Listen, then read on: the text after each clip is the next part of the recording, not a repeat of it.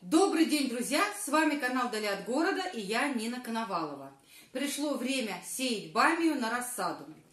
До 1 апреля необходимо поместить семена бамии а, в грунт, поливать, ухаживать за рассадой, чтобы когда уже устаканилась погода, где-то после 15 мая высадить на улицу в открытый грунт и уже ждать, когда бамия начнет плодоносить.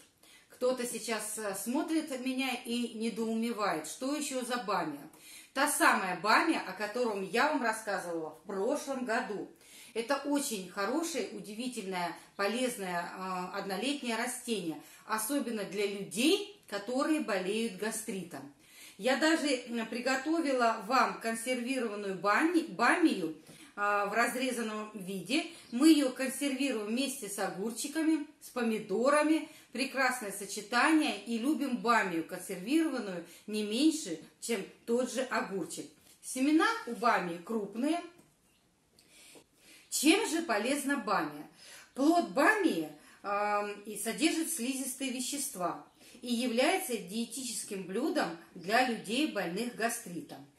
А в пищу употребляются молодые э, отростки, молодые побеги, завязи зеленого цвета, а вот э, когда завязи уже переросли, то они становятся несъедобными. Бамию э, консервируют, ее добавляют в свежие салаты, ее добавляют в рагу, и я добавляю бамию, когда тушу мясо. Мне нам очень нравится бамия, я ее сажаю каждый год и рекомендую своим подписчикам, своим зрителям канала – в обязательном порядке найти семена и приобрести. Растет э, быстро, плодоносит много, очень урожайный вообще э, однолетник. И самое главное, это полезное растение. Растет только в открытом грунте, хотя я знаю, что на Урале и на севере люди выращивают бамию и в теплице. Ну, мы выращиваем в открытом грунте. Подвязки не требуется, ствол у нее достаточно э, такой мощный, массивный. Единственное, что корень очень большой и, конечно же, бамия поглощает э, землю, кушает э, хорошо землю. А, сеется обычным способом, не горячим. Семечко помещается в землю, э, поливается водой и как только отростки появились, Э, можно чем-либо подкормить. Вообще, это неприхотливое растение. Оно вроде как и теплолюбивое, но легко переносит э, резкие перепады температуры в летнее время.